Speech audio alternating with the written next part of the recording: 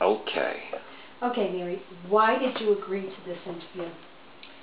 I agreed to this interview because it's only in the last few years that I've ever admitted to anyone outside of my family the problems I had with learning to read and having people understand my writing. Now, start at the beginning, from when you were a child, and your first experiences and your struggle with reading. Well, I went to Henry Barnard in the uh, second grade. Gone to a, a little elementary school in our town for first grade, and I wasn't doing well. So my father transferred me to Henry Barnard. And uh, there, were, there was a very small class, like 14 to 15 people, lots of wonderful things going on. And I was a very obedient and extremely introverted, shy child. So when people came by and would turn my book the other way, I would just let it go till they got out of sight, because that was the only way I could read with any ability.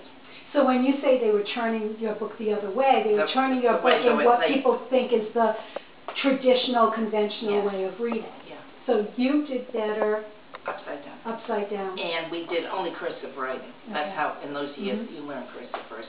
and I could only write cursive uh, inverted.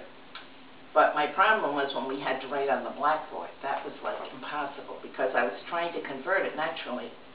So instead of, you usually see children will write, you know, go up a line or diagonal. Well, even within my words, it was going, and, you know, all the snickers and so forth.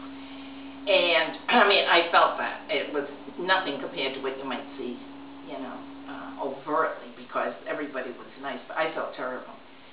And I was the oldest of four children, and everybody was what I consider smart. And when we, and it still touches me today, you can probably hear it in my voice. So when the report cards come out, my parents would say, I'm very proud of all our children. They all got good report. And I, here I am with D's. So now, let's, let's go back, because you said your dad transferred, uh, transferred you to Henry Barnard, Yes. okay? Um, do you remember what year that was, that you were at Barnard? Well, it was probably around 1944, because I was born in 37. Okay.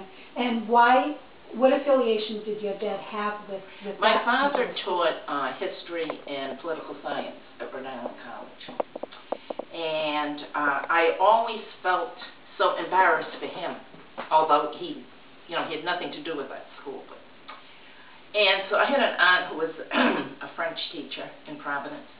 And she was also left-handed, so everybody thought it was that. And so she worked with me, you know, on my handwriting and so forth. But uh, I'll just let that go. But it was just very, um, very, uh, just, I mean, my other children, my other siblings didn't have this trouble. You know, it was just awful. Should I take that off the hook so that it won't interfere with Well, we could. Why don't we stop just